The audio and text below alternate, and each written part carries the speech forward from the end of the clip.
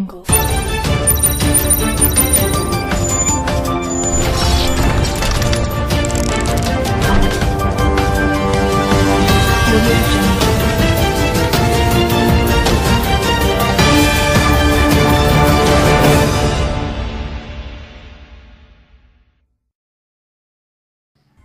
Bueno, señores, el comunicador Ricardo Nieve ha roto su silencio y se puso al frente en defensa a lo que fue el intento de secuestro del comunicador Rafael Guerrero.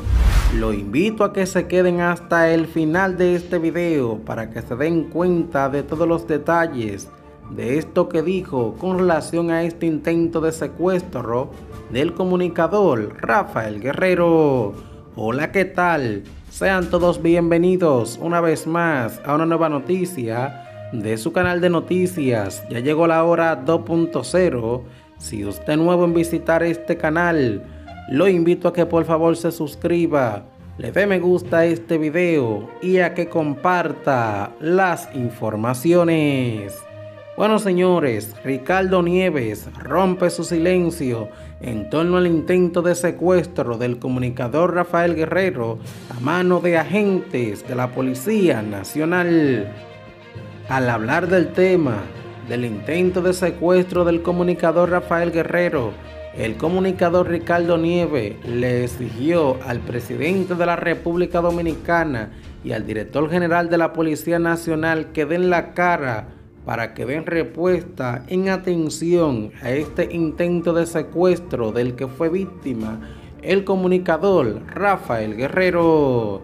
Dijo de forma detallada, clara y contundente que tanto el presidente de la República como el director general de la Policía Nacional tienen que dar una respuesta con relación a estos miembros de la Policía Nacional que intentaron secuestrar supuestamente al comunicador Rafael Guerrero.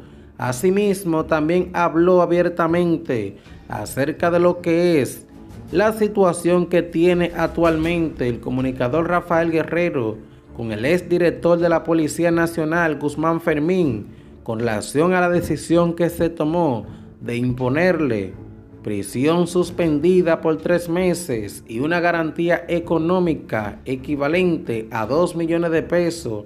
Y lo que dice Ricardo Nieve te va a dejar sin palabras al instante. Presten atención, señores, porque verdaderamente, así como Ricardo Nieve acaba de referirse a este tema, es que se debe de hablar en respuesta y apoyo absoluto al comunicador Rafael Guerrero, quien está siendo víctima del sistema de justicia y también víctima de miembros de la Policía Nacional, quienes aparentemente tenían intenciones de secuestrarlo para callarlo, sacándolo de circulación.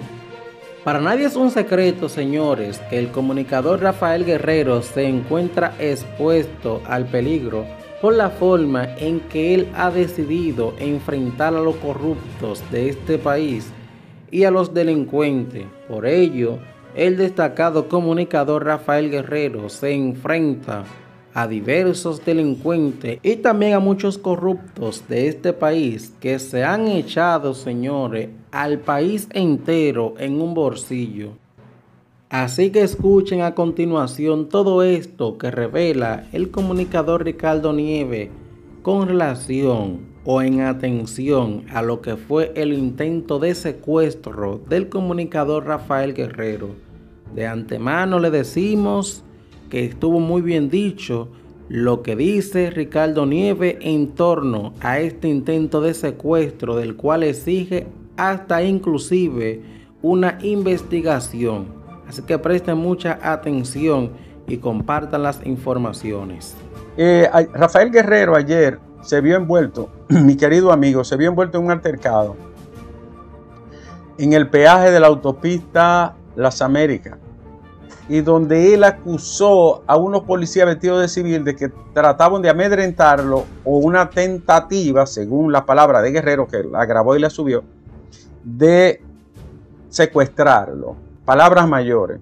La policía tiene que aclarar esto y el gobierno también. yo no sé cuáles eran las pretensiones de esos policías. Él tiene protección, él tiene un, un, oficial, un alto oficial, tiene otros policías que le cuidan y es lógico porque él es un hombre que ha denunciado carteles, crimen organizado, vándalos y delincuentes de marca mayor. Y yo fui uno de los primeros que pidió protección, cuidado para Rafael Guerrero cuando enfrentó a la J, cuando mencionó el tema de los socios de César el abusador, cuando le entra gente del gobierno a bandidos. En fin, es un hombre que se la ha jugado, como pocos. Yo hace unos días, cuando salió la sentencia sobre su situación jurídica con el ex director de la policía, Guzmán Fermín, yo decía, todo mi respaldo, no es porque esté en contra de aquello, ni, ni, que niegue su derecho a, recurrir en justicia, ni a defender su honra. Yo no estoy hablando de eso. Yo le doy respaldo al comunicador, al que se la juega, al que denuncia, al que enfrenta el poder, al que denuncia a los capos y a los corruptos en su, en su canal Corrupción al Desnudo. Es un hombre que no puede andar solo y ese, ese evento que se dio tiene que ser esclarecido por el gobierno y la policía. Me resulta extraño, no lo puedo negar, porque nadie te va a secuestrar a la luz pública en un semáforo, pero, eh, perdón, en un peaje, pero ¿qué diablo buscaban esos policías detrás de él? ¿Qué diablo? Tienen que aclarar eso. Y vuelvo y les reitero mi respaldo, mi apoyo, mi solidaridad completa. Los jueces han matado su credibilidad cuando usted ve que un supuesto juez condena a Rafael Guerrero, dice Luis Jiménez. Rafael Guerrero seguro va a apelar esa decisión, eso va a ir a apelación y va a ir a casación, irá hasta el constitucional, ustedes lo verán. Hay una cosa, señores, yo creo por encima de todo en la libre expresión y opinión. A toda luz, a todo dar. Y más la gente que cuestiona el poder, que enfrenta el poder, que va contracorriente del poder, porque la opinión del comunicador y del periodista debe de ser siempre a contracorriente. Es decir, el poder se basta a sí mismo. Al poder no hay que defenderlo ni ponerle eh, alfombra. El poder, al poder le sobra eso. Siempre, no importa el color, el partido, quien gobierne. Y más en un gobierno que quiere meter una ley como un tarugo, ¿no? Que todo el mundo ha criticado la famosa ley 124 entonces lo que yo quiero decirle, hay que cuidar mucho la palabra y la credibilidad. Cuidarla. Sin temor a... Yo no tengo miedo a ninguno de esos pendejos del gobierno, ni del sector privado. Pero la gente que se la juega frente al poder necesita un respaldo doble. Porque casi nadie lo hace. Bueno, la Policía Nacional Guzmán Peralta y el gobierno del país, Luis Abinader, tienen que decir qué fue lo que pasó con Rafael Guerrero. Eso no se puede quedar ahí y que ya pasó y se quedó así, se equivocaron, carajo. Tienen que decir qué pasó con Rafael Guerrero. ¿Qué fue lo que fueron a hacer esos, esos rastreros policías que él acusa que estaban persiguiéndolo y que querían hacer una jugada? Ustedes tienen que decir qué pasó ahí. Eso no se puede quedar en la bruma. Y todos los días vamos a insistir, ¿qué pasó? Y tiene que hablar la policía y su vocero y su director. ¿Qué sucedió con Rafael Guerrero? Seguimos esperando que nos den una respuesta. Sin miedo, porque Rafael no tiene miedo, pero tiene que decir qué pasó ahí. ¿Qué pasó con esa, esa situación de, allá del peaje del 28, de, las Américas? Que aparecieron unos rastreros de que, que husmeando detrás de Rafael Guerrero. Pues son rastreros, vaya atrás de los delincuentes, de los lavadores y de los ladrones, charlatanazos. No lo aceptamos eso, y menos ese silencio. Cuando dije que estaba con él, es porque cada, todo el que enfrenta el poder siempre corre riesgo, en cualquier parte, más en este país, donde hay tanta impunidad. Nadie dice nada, ¿qué es eso? De que policita del coño, perdóneme la palabra, y que detrás de una gente, vaya atrás de los delincuentes, rastrero. Coño, ¿qué es lo que están metiendo miedo? Este país tiene miedo a nadie. Me da rabia esa vaina. Bueno señores, y con relación al video anterior donde hablábamos acerca de los autores de la muerte del hijo de Alfredo Pacheco y también le dábamos a conocer detalles acerca de un debate donde nacionales haitianos sostenían un diálogo y uno de estos le hizo un llamado al presidente de la República Dominicana donde le exigía que redoble la seguridad de toda la franja limítrofe que dividen a este país de Haití y también la de la belja perimetral para que proteja la seguridad de este país ante las posibles llegadas de las bandas armadas, quienes posiblemente estarían planificando, de acuerdo a lo que habría revelado el nacional haitiano en este debate, planificando sus métodos o estrategia para ingresar a este país y él teme porque esas bandas armadas llegan al país de República Dominicana a hacer desastre como lo han hecho en su país, corriéndole al ejército keniano, quienes tienen previsto ir a Haití como una misión de apoyo a la Policía Nacional Haitiana para erradicar a esas bandas armadas. El video anterior se nos subió lamentablemente con una mala edición donde aproximadamente 25 minutos no se escuchaban y por eso dejaremos la parte que faltaba de ese debate aquí en este video. A continuación lo dejaré con todos los detalles para que así ustedes lo escuchen, ya que una persona me comentó y me dijo que no se escuchaba. Le pido disculpas y aquí le dejo el video para que así usted pueda escuchar lo que se dijo allí en ese debate por completo. Eh, blancas y negros y, y, yo he hecho encuesta en cuanto a eso y el negro discrimina su raza más que el mismo blanco. El, el blanco tiene temor, entiende, tiene temor porque no se ha, no se ha criado siempre muchos muchos niños lo que se han criado con gente blanca, con muchachitos blancos, cuando ven un negrito ¿Tú sabes con quién pasan eso? Pero con, los, con los albinos en el África. Le digo algo. Le digo en algo. el África, con los propios albinos. En cuanto a eso, a ese tema eh, de la discriminación, indiscutiblemente siempre hay racismo. En todos lugares hay algunas personas que son racistas. En todas las naciones hay personas que son racistas y van a entrar en eso.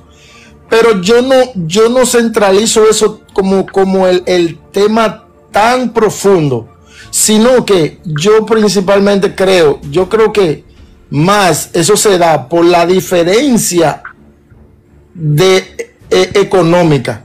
Porque, tú, porque yo digo, a Michael Jordan no lo discriminan en ningún lado, ni a Michael Jackson, que era negro. Eh, Fede, Fede, no, no, no, no, no, no, no, papá. Eh, óyeme, no existe un pueblo más racista desde su propia independencia que el pueblo sí. haitiano. No, no, no, no, no dice que el pueblo haitiano, que el negro. Déjenme hablar, espérese, déjenme hablar. Está limitado a un país quizás. Pero, óigame, mi hermano. Por lo que yo he visto, eh. Pero óigame, ¿usted quiere debatir o usted quiere hablar solo? No, no, no, estamos debatiendo. Pero entonces, si usted cada vez que yo digo algo, no me deja que yo hable y me quiere contradecir usted, ¿qué es lo que le pasa? Oiga lo que le voy a decir. El pueblo haitiano, desde su independencia, pues lo primero que comenzó fue con el racismo y, que, y con un odio xenófobo en contra de los franceses y de todo el blanco que tenían alrededor. Lo primero que hizo Yayan de Salín y Toussaint Louverture, aparte de salvar a la gente con quien trabajaba, cuando él era, eh, le, manejaba, un carruaje, que por eso es que eh, Toussaint Louverture no es tan mintado en la independencia haitiana, le tienen su vainita, pero eh, fíjate que Haití en cualquier revuelta lo primero que mienta, somos de Salín. Uh -huh. Somos de Salín, pero a de Salín, somos de Salín, pero a de Salín lo mataron dos años después, Alexander Petion y Henry Critop. ¿Entiendes? ¿Cuál fue la primer, lo primero que hicieron? Fue matar a todos los blancos. Destruir sí, y que... Acuérdese, acuérdese que, que, eran esclavos y fue el primer país que se independizó como esclavo. Mi hermano, ¿Cómo? hoy, hoy 2000, 2024, hay muchos haitianos, aunque tú no lo quieras aceptar, que siguen siendo esclavos. Sí, fíjate que lo no, que hace. No, yo estoy de acuerdo con eso, esclavo de su propia mente pero no de su propia mente, ¿Tú conoces, sino que, que, el de Güelle de Moca. Que quieren meterlo a todo en el mismo saco, por eso es que cada vez que salen a la calle, salen a quemar todo. No, Déjame eso, porque esta pregunta. que- que no, una, pregunta, una pregunta que te voy a hacer por vía eh, de lo que estamos aquí. Eh, ¿Tú conoces lo que fue el degüelle de Moca? Lo que fueron las batallas gemelas, la batalla del 30 de marzo. ¿Tú conoces de lo que fueron las 14 batallas que se dieron en una forma de nosotros defender el pedazo de nosotros, en una forma de también darle espacio a ustedes, porque cuando se le dio de baja en la batalla gemela que fue por vía del comando Luperón y 30 campesinos que hubieron a recibir, mi hermano.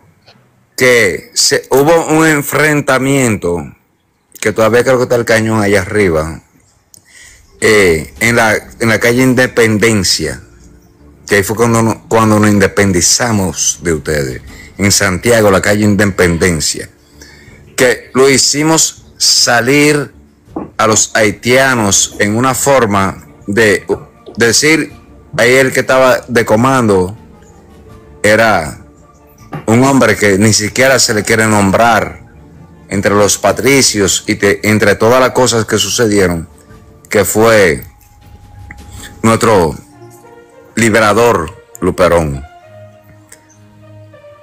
Y el decir nosotros los hermanos haitianos, los hermanos haitianos que hemos recibido, aunque yo voy a decir que te digo hermanos haitianos, porque yo tengo amigos hermanos haitianos que son her- hermanos míos. Amigos hermanos que lo conozco desde jóvenes, ¿tú entiendes? Y no puedo ser hipócrita, yo no soy un ignorante, yo quiero ser un hombre fiel a Dios y a la lucha que me ha dado y a la que me ha puesto a vivir.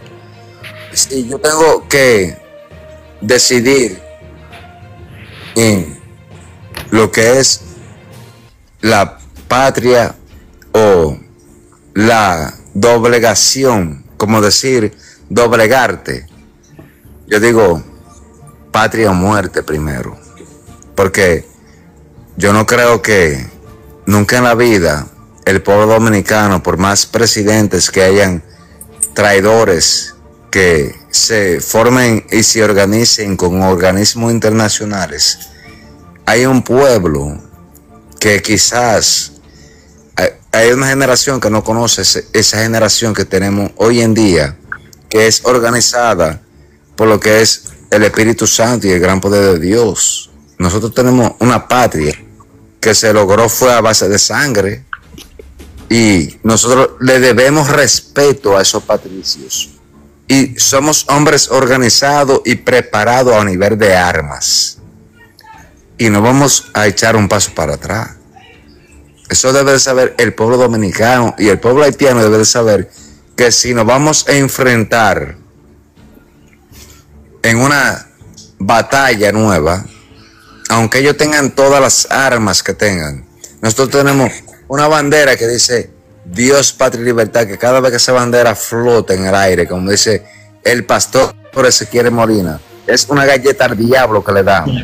Y si ustedes, los haitianos que piensan que República Dominicana le ha dado apoyo y se de parte de la isla, del lado de nosotros, por favor, por favor, a ustedes le hicieron el daño de su lado. Le hicieron un daño en el lado de ustedes. Un país prospero, oye, un país con todo, con todos los recursos para poder estar en crecimiento. Si no lo han querido desbaratar día, años, años tras años. No lo han querido ver superarse. Un país que fue un país que se liberó de los primeros países en liberarse. Y la vergüenza es, hoy en día, ustedes los haitianos, verse en la situación que hoy en día están. Ustedes son fuertes, unidos son fuertes. Lo que ustedes tienen ahí es los organismos internacionales que le quieren robar lo mismo que nos están haciendo a nosotros desde el tiempo de Leonel Fernández, a ustedes se lo han hecho. Lamentablemente, si ustedes no luchan por su pedazo, ustedes van a vivir vagando por el mundo entero. Con todo el poder que ustedes tienen y toda la fuerza, ustedes tienen muchas riquezas, muchas riquezas dentro de su territorio. No se dejen manipular, no se dejen llevar a una guerra que no le va a convenir a ustedes. Nunca le va a convenir. Nosotros, por más que sea, cuando la guerra del 65, los americanos tuvieron que reportar que los cientos, cientos de militares reportaron lo que fue por vía de la guerra de, del Golfo, cuando fue en República Dominicana que se le arrancaron la cabeza. El patriota dominicano no tiene miedo. Hay que tener mucho cuidado porque esto es muy delicado. Vamos a poner el respeto. Si ustedes tienen familiares dentro de República Dominicana, alértenlo porque nosotros, a la hora de que tengamos que defender el pedazo de nosotros, lo vamos a hacer como lo hemos hecho todo el tiempo, sin consideración y sin piedad, solamente pensando en lo de nosotros, sin pensar en ningún invasor de que entre por cualquier parte. Ojalá y nos metan una bomba nuclear y nos exploten a todos los dominicanos juntos, pero es juntos que van a pelear con nosotros. Van a enfrentar a un pueblo y es lamentable. Hemos luchado 14 veces con los haitianos y se sabe que lo hemos hecho hasta con una minoría militar y lo hemos vencido. Es decir, que esta vez va a ser peor, porque ustedes quizás, los haitianos, que quieran agredir a los haitianos que están del lado de República Dominicana, que también hemos luchado juntos en liberación, a esos haitianos no lo van a tocar los malos, los enemigos, lo, lo han hecho a ellos salir correr de su país. A esos haitianos los vamos a apoyar y vamos a luchar junto con los malos haitianos que han querido desbaratar a Haití. Y nos vamos a entrar a Haití. Esa invasión que ellos dicen. Eh, presidente, está bueno ya, mi hermano. Nos vimos, cuídese. Eh, ¿Qué es lo que tú dices, magistrado, que pusiste ahí? Eh, tú conoces la matanza del 37. Explica por qué fue la matanza del 37. Como, como el señor presidente dijo eh, lo del degüelle de Moca, yo, yo, le, yo le pregunté si él conoce también la del 37. Ya, explica por qué fue la del 37 y por qué fue el degüelle de Moca.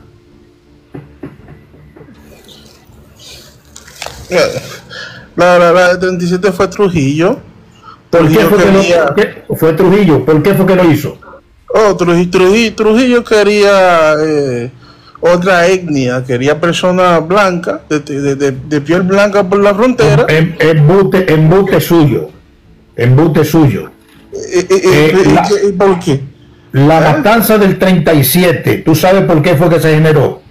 Porque Haití no respeta acuerdo. Haití no respeta acuerdo. Trujillo, usted, usted leído la historia y usted lo sabe, usted no es ningún loco. Trujillo le dio tierra y le dio asentamiento.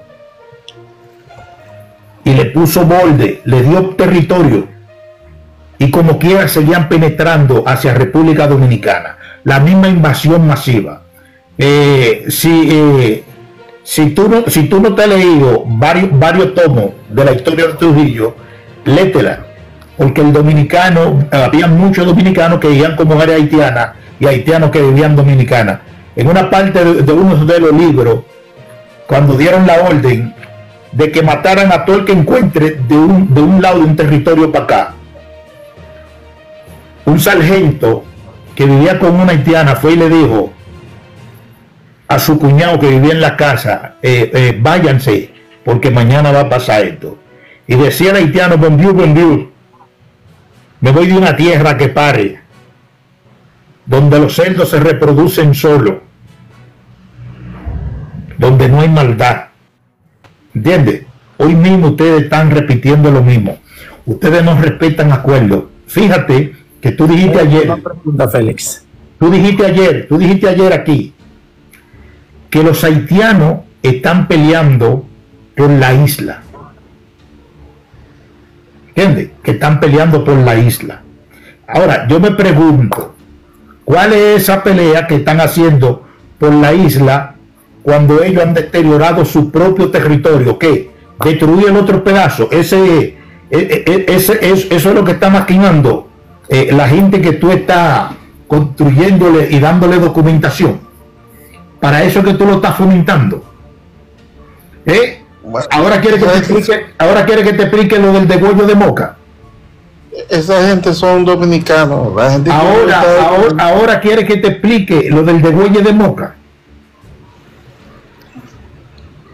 Ya yo te expliqué lo de Trujillo y tú lo sabes que fue así. Si tú quieres, yo te explico. No, no, no, no, no, no, no, Escúchame. No, no, no, yo no tengo opinión, mi hermano. Es que la historia está hecha. Y yo no tengo nada en... Escúchame. Escúchame. Mira, el dominicano no tiene nada en contra del haitiano. El dominicano no tiene nada en contra del haitiano. Lo que pasa es que nosotros, hasta los propios dominicanos, a veces somos abusadores. ¿Entiendes? Cuando hay personas que te brindan la mano que tú vas a un colmado y coges fiado y el tipo te lo fía porque tú tienes hambre y tú sigue, le, le sigues cogiendo fiado. Tú llega un momento que tú crees que el tipo te está fiando, que te está fiando porque te tiene miedo. ¿Entiendes? Y llega un momento que tú te sientes ya con la potestad de decirle hasta come miel y el coño, pues yo le voy a pagar su cuarto. ¿O qué, qué es lo que usted cree? Que yo me voy a robar un disparate que usted me está fiando.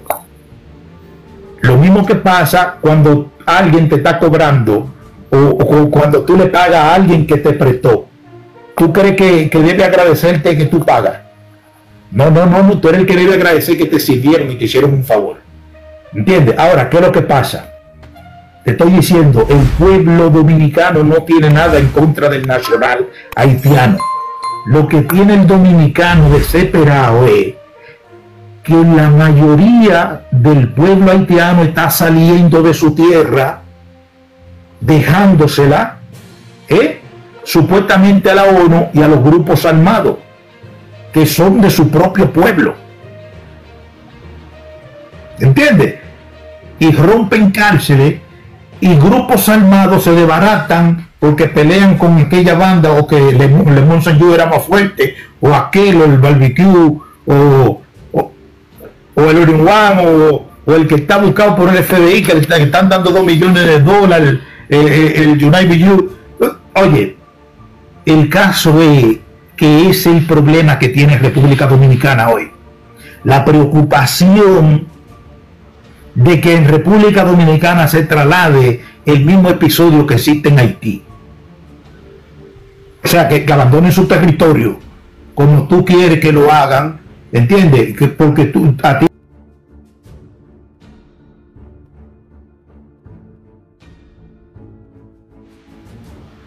Esos son los que te importan. No te importan los que matan a diario. Porque eso no son, eso no, tú no eres pro-humano para ellos. Para eso no existen derechos humanos. Existen derechos humanos para un tipo que le dieron una galleta porque se le reveló a un policía que no quiso dejarse de detener porque andaba sin documento y quiso darle golpe al policía. Ese sí tiene derechos humanos. Pero un joven de 13 años que lo maten a batazo o que lo prendan con una goma, ese no tiene derecho humano. ¿Eh? El caso es que yo no vivo en Haití, Fer. Yo pero si, en la República Dominicana. Pero, si tú, no, tú vives en la República Dominicana, ¿y qué tú eres? Que yo soy, yo soy dominicano. Ya, tú eres dominicano. ¿Y qué más eres? ¿Qué es lo que tú procesas? Pro humano, yo soy pro humano. Pero, buen come mierda, ¿por qué tú no defiendes a los dominicanos? ¿Por qué tú no defiendes a los dominicanos cuando, cuando le violan los derechos? Si tú eres dominicano. Si, es más, si tú eres pro, escúchame, si tú eres pro humano, ¿por qué tú no defiendes a los dominicanos? ¿Por qué tú no defiendes a los chinos? ¿Y ¿Eh? cómo tú sabes? ¿Y cómo tú sabes que, ¿Y cómo tú sabes que yo no defiendo los Óyeme, lo que pasa es que tú crees que eh, este no es el mismo live donde tú estabas ahora mismo, supuestamente, eh, vino uno aquí y dijo, oye, ahí está, ahí está magistrado acabando con República Dominicana él y, y Monita Jane en un live. ¿Entiendes? Y eso ahora. Eh, oye, no, no, no, no, no, mi hermano, porque yo tengo una sola cara. Yo para defender mi país, yo no tengo que encementarlo, llenar Haití de mierda. Yo hablo con coherencia. ¿Qué te estoy diciendo? Coño, es injusto que tú quieras defender República Dominicana, defender los haitianos República Dominicana y decir que a ti no te importan, coño, los haitianos de Haití. Que no te importa. Yo o sea, lo que te importa es que yo, lo que te importa es generar recursos en, en- en contra, coño, de esos propios ciudadanos. Tú tú tienes la prueba de eso. Pero, la prueba de. pero, pero, pero la, pru- la prueba yo no tengo que enseñártela. Tú se enrotra todo ello. A diario, tú se le enrotra. Le dice, oye, mire, cállese. Usted no sabe quién soy yo. Es más, yo te voy a mandar. ¿Qué, ¿Qué es lo que tú estás haciendo con eso? ¿Qué es lo que tú estás haciendo? La cosa no es así. Bueno, son tus opiniones, yo las respeto. No, no, no, no, no, no. No son, mi- no son mis opiniones, son las develaciones de tus interpretaciones. Eso es develar tu interpretación. ¿Entiendes? Eso no son mis opiniones, son tus opiniones. David, buenas noches, ¿cómo te está? Pégate, pégate, David, que no se está escuchando bien, mi hermano.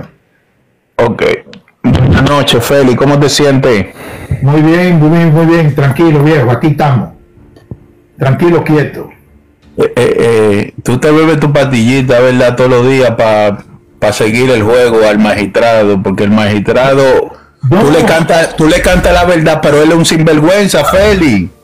Pero está bien, pero que ese, óyeme, el trabajo, el trabajo es ese, mi hermano.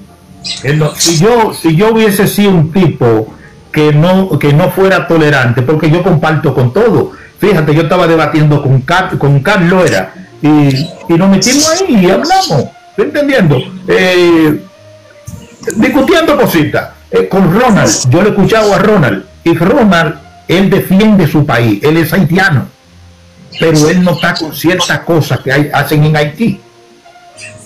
¿Entiendes? Entonces, yo no soy un tipo, porque hay gente que creen que yo ataco a Haití. No, no, no, yo no lo ataco, yo ataco al que coño, como sinvergüenza, no admite la realidad de lo que pasa en su propio país. ¿Entiendes? Y entonces exige en otro país o en nuestro país cosas porque si usted va a exigir derecho en mi país, usted tiene todo el derecho a exigirlo.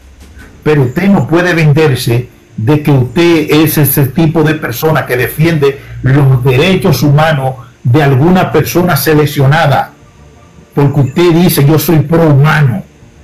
Eso es como cuando un evangélico pasa por un grupo, hay dos evangélicos y todos los otros son impíos. Y él dice, saludos, eh, Dios lo bendiga, hermano Juan, Dios lo bendiga, Pedro Luis y los otros, que se lo lleva el diablo. Exacto. Usted tiene que decir, Dios me lo bendiga, Dios me le bendiga a todos. Él defiende sus intereses aquí en República Dominicana. Eso es lo que ella hace, Feli. Bueno, y saludo. Eso es lo que defiende. Y me gustó escucharte con ese temple poniéndole punto a la I. Wow, Feli, sigue así. Y no le dé chance a magistrado. Magistrado hasta se cayó y no tiene argumento. No tiene argumento. Mira, Feli, aquí en República Dominicana nos está arropando la delincuencia de los haitianos por toda parte. Por toda parte está. Ya los haitianos están montando modo operandi Lo que de, pasa es que, que no me dan chance de hablar. de, de robar. Eh, escúcheme, magistrado, yo te hablo. Renovado, explica, explica a quién le hace daño ese grupo de eh, que tú dices que estamos siendo invadidos por un grupo de nacionales haitianos delincuentes. Explica ahí para que no se sientan aludidos muchos que no son delincuentes y que son serios y trabajadores. ¿A quiénes le hacen daño eso? Pero ahora mismo, Feli, República Dominicana, eh, eh, los haitianos están compitiendo con nosotros. ¿Tú crees que nuestro país va a poder soportar la delincuencia de los haitianos y la propia delincuencia de nosotros? No lo va a poder soportar. Ahora mismo en la capital, en la capital hace como un par de días, dos nacionales haitianos sustrajeron un millón. Oye, ya tienen banda, le entran a machetazo a, a nuestro a, a nuestras autoridades. Desorden por todos los lados. Le hace daño, señores. Están haciendo daño. Están haciendo daño. Y este individuo lo que quiere es justificar lo injustificable. Porque nosotros no vamos a robar ni vamos a matar a Haití. Nosotros no vamos allá a avasallarlo a ustedes, a ponerlo en zozobra, ni a utilizar los hospitales ni la escuela. Entonces, ¿cuál es el sistema de ustedes? Por ejemplo, el magistrado lo que tiene que ir a Haití, tiene que ir a Haití. Señor, vaya a Haití, luche por su comprobano, porque usted es un puro haitiano. No venga que usted es dominicano, que usted utiliza, usted utiliza, usted utiliza como el camaleón cuando le conviene, pero usted no es dominicano. Usted tiene prueba de lo que tú dices, señor. Tengo pruebas, vea, usted vino, usted vino a la edad de los 12 años y tiene papeles comprados. Papeles comprados. El de la rosa por, parte de su madre, usted lo tiene adelante. El apellido, que ella fue la que lo naturalizó. Eh, lo declaró, una dominicana. Eh, a usted le compraron los papeles. Deje eso, mi hermano. Amigo, mire, vaya ubicando su mentalidad, que ustedes saltan con historias que dominicano, lamentablemente caso, no se la, no se la compra a ustedes. Ustedes podrán inventarle a otros, a otros, al mundo, pero los dominicanos sabemos nuestra historia y lo conocemos. una pre- una pregun- una pregunta, renovado. ¿Qué yo, ¿Qué yo gano con que tú me creas una historia o no? Eso me da igual. No, desde el punto de vista donde tú estás, sí te da igual, porque tú has visto que el haitiano tiene vergüenza, el haitiano no tiene ni Eso me identidad. eso Ustedes no igual, tienen no. identidad. Si ustedes tuvieran vergüenza, no estuvieran en nuestro país arrastrándose por el suelo, porque no- nosotros fuimos esclavos de ustedes. En mi, en, mi, en, mi, en mi filosofía de vida, el país del ser humano es la caja. En mi filosofía de vida. Tu país En el, es chan- la caja. en no, el no, chantaje, en el chantaje la victimización la tuya. La filosofía de vida tuya es el materialismo. La filosofía de vida tuya es la que tú entendiste que para tú pasar y la discriminación no toque a tu puerta, tú tienes que enrostrar y brillar. Fíjate que un rico por naturaleza, tú no lo ves con una cadena. Y si lo ves con un reloj, lo ves con un reloj plástico para ver la hora, que marque la hora. Nosotros los negros y los pobres, de que tenemos dos pesos, trasladamos nuestra miseria a otra posición. Y para que nos tomen en cuenta, tenemos, queremos siempre sobresalir de lo que somos. Como tú, lo haces, ¿cómo cómo tú lo haces? Te van a hablar contigo. O sea, no es yo, yo voy a hablar contigo para ayudarte. No, no, no. Van a hablar contigo para que tú sepas quién soy yo. Eso es lo que tú haces. Pero ¿y tú sabes lo que hace ese individuo? En el live del domingo de, de la marcha, él se metió a hablar porquería ahí de que esos cuatro gaticos, eh, eh, eh, que si yo cuánto, pero papá, pero dime, dime a ver. Pero, eh, eh, es Es que sufre. Ese individuo sufre. Yo quisiera encontrármelo a él. Por Dios, yo nunca he caído preso y con ellos caigo preso. Yo quisiera conocerte, magistrado. Porque aquí hay régimen de consecuencias, pero yo la cojo. tú eres un fresco, oíste. Tú no tienes, tú no tienes otro calificativo. Tú eres un Pero, fresco. pero, Es un sinvergüenza, Feli. pero no hubo ni 20 personas en esa marcha. Es una realidad. A usted no le importa, a usted no le importa, métase en Haití. Si en Haití están matando, están comiendo. ¿Qué, tan- qué tanto asunto tú tienes con nuestro país? Yo quisiera conocerte, magistrado, darte la mano y así hablamos y nos abrazamos, porque con- aquí hay régimen de consecuencias y yo la cojo contigo. 143, el que no me siga, que me siga.